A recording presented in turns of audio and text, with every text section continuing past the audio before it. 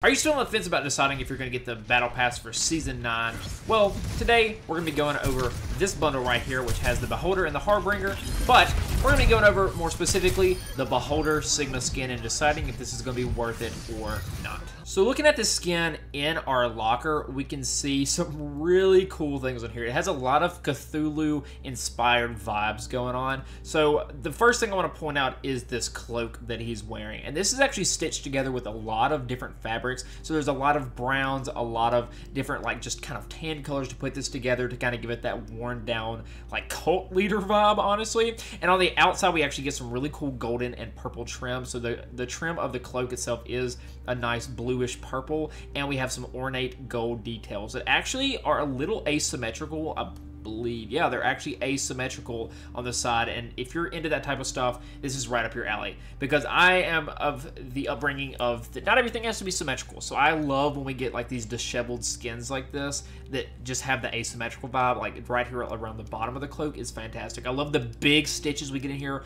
You get some nice little gaps and holes. It looks great. The feet, them dogs are dirty.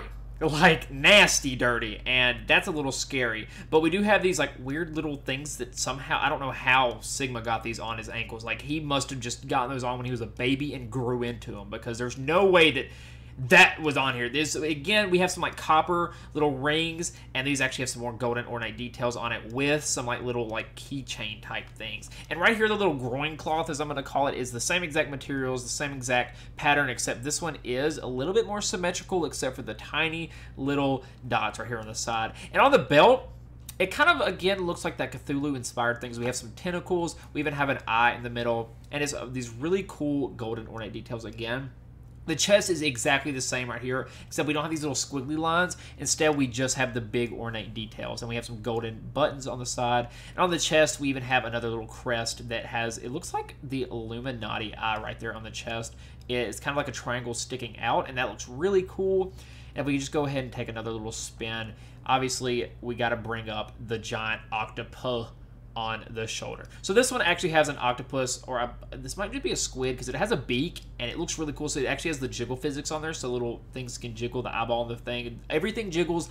It's that nice purple color to actually complement the blue purple. This is a lot more purple, purple with some light purple-like details on the side. So it has the tentacle holding up an eyeball with a little blue pupil on the inside, and I'm just double checking here. Yeah, the eyes are both the exact same that's really cool. I love how we have some gold, like some little ghastly purple eyes in the beak. It just looks really cool. And again, we have the same ornate details, like keychain looking things as on his like little braces on his kneecaps. But the kneecaps also, the little circle brass bracelets also go on the arms and the wrist. And on the wrist, we actually have two different versions. So one right here, we have a little bit more of a gemstone type esque thing, a little vibe going on. And this actually has, it looks to be like a beak. And I thought at first this was a tentacle, but this does look more beaky and sharp that we have on the beak of the octopus. And it just looks really cool. So they, if you look at the hand, it actually looks exactly like the feet, where it's just the tips of it are very dirty, and it almost looks like a corpse. So it looks like the fingernails and the nails in general are just blacked out, like he honestly punched something, and it, it hurt really bad. But, you know, that's a lot of the big parts of the skin. And then the other brace, we have these cool little, like, it honestly looks like some orbs of mystical magic going on. And it's, again, the same exact color as, it, this looks like a combination of the octopus and the bottom bearings of the cloak down here and it's just floating so they're actually floating above the thing so they're not attached at all which actually is really cool and then we even have some more ornate details on the side but the coolest thing in my opinion has got to be this mask. We actually do not see Sigma's face in this, and this gives it a lot more of a cult leader vibe than a normal Sigma skin. So all the other Sigma skins, except for a couple, I believe, you can actually see the face in every single one.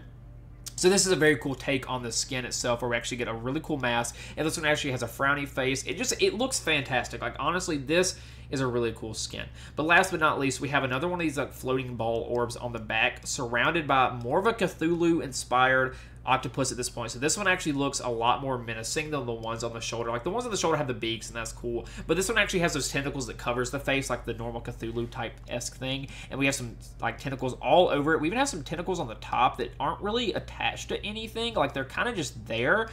Uh, same thing goes with this one right here. It's not really attached to anything. It's not attached to the actual Cthulhu thing at all. It's just kind of there holding the ball up. But this one actually has more of a dark essence inside than the ones on this wrist right here. But this is cool. The, the skin itself is so cool. And now let's take a look at the actual orbs themselves a little bit closer.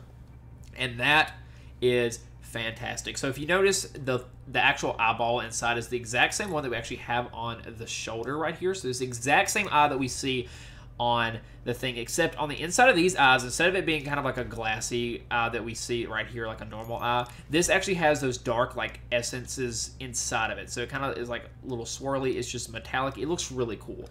And we even have the golden orbs themselves without having to actually spend your little credits to actually get these gold. They're really cool. And we even have some, these like little tentacles don't look to be like squishy just because the orbs do move as you can see it right here. So they are metallic and actually like welded on there pretty much. But these look fantastic. I love the way that these swirl together. That looks great. All right well let's go through some highlight intros now. We have accretion kinetic grasp attraction. Those fingernails are kind of ugh. And then what comes up And then now for some emotes, we have Dance. Constellation. Stepping Stones. Magic Pumpkins. Inconsequential. Laugh. Relaxation. Applause. And finally, observations.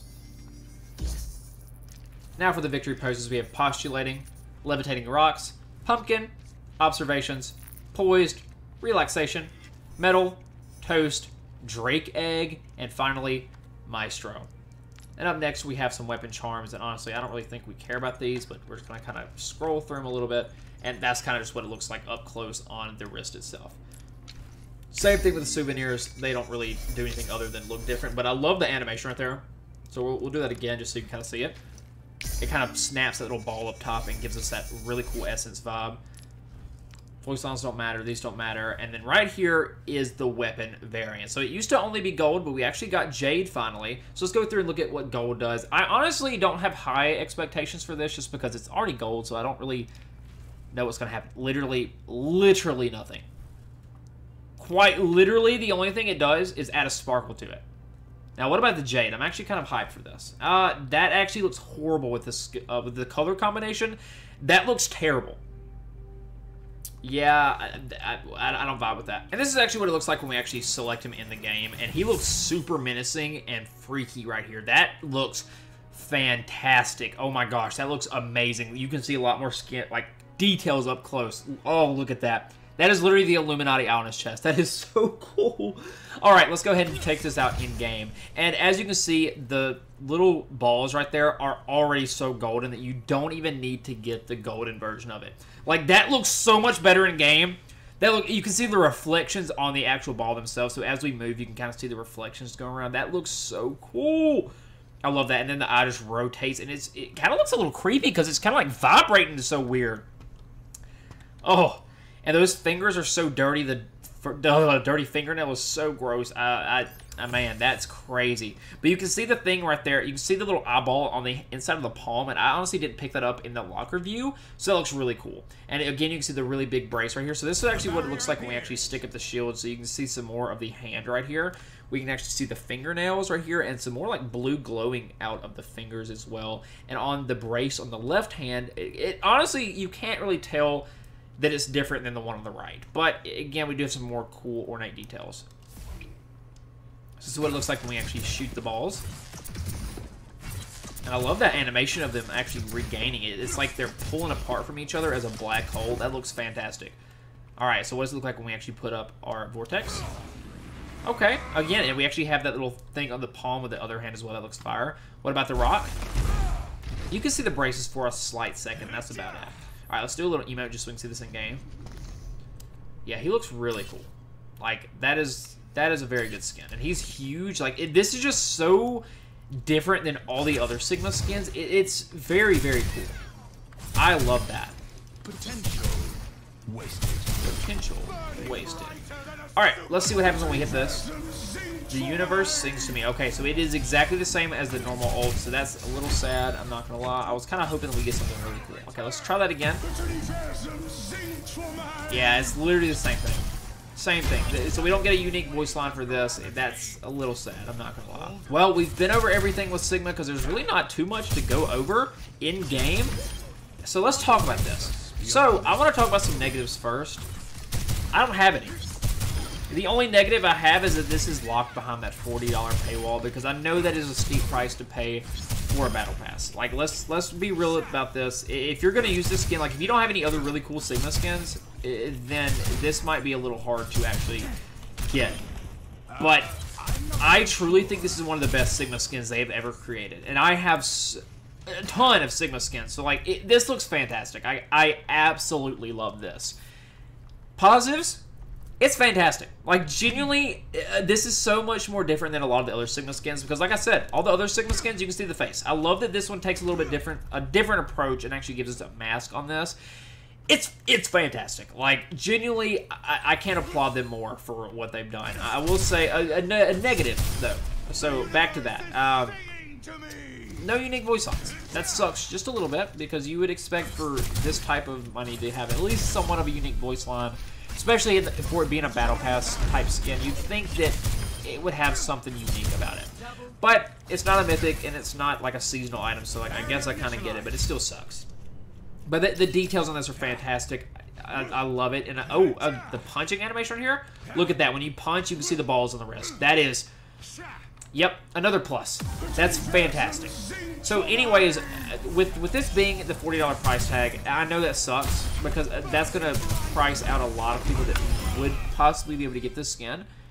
However, comma, if you're willing to do that, plus the Battle Pass, plus the 2,000 credits, I think that this is honestly 100% worth it. This is, in my in my humble opinion, as somebody that has bought almost every single Overwatch skin, this is probably the best Sigma skin we have ever gotten.